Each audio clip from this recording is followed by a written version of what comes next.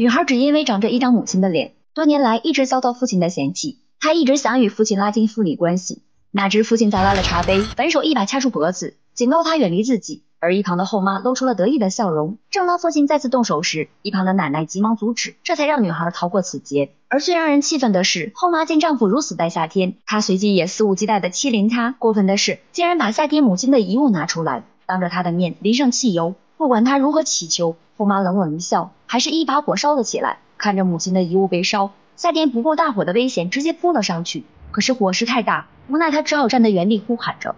看着母亲留下的记忆被摧毁，夏天气愤的直接跑上去掐住了后妈的脖子，没想到却被一巴掌打倒在地。起身后的他直接扑向后妈，随即二人扭打起来。在二人扭打间，声音把后妈的弟弟引来。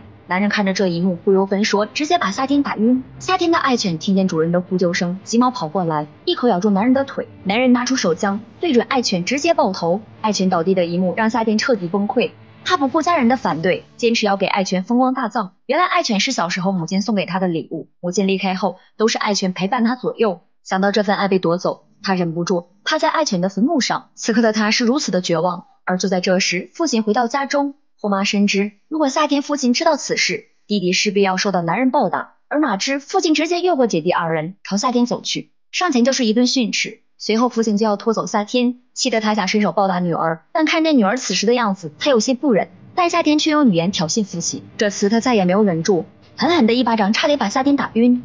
晚宴上，夏天穿着保姆的礼服，当父亲看见他的那一刻，脸色瞬间阴沉。等他缓缓走出来后，竟然哭诉自己的母亲，自己此刻站的位置就是当年母亲去世的地方，诉说着思母之痛。而一旁的父亲觉得他丢尽了自己的颜面，直接把他拖进房间，无论奶奶怎样阻拦都无济于事。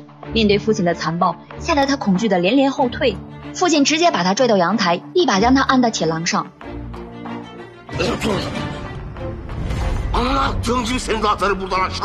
此时仆人也破门而入，奶奶冲过来及时救下了孙女。被救下来的夏丁还没有缓过神。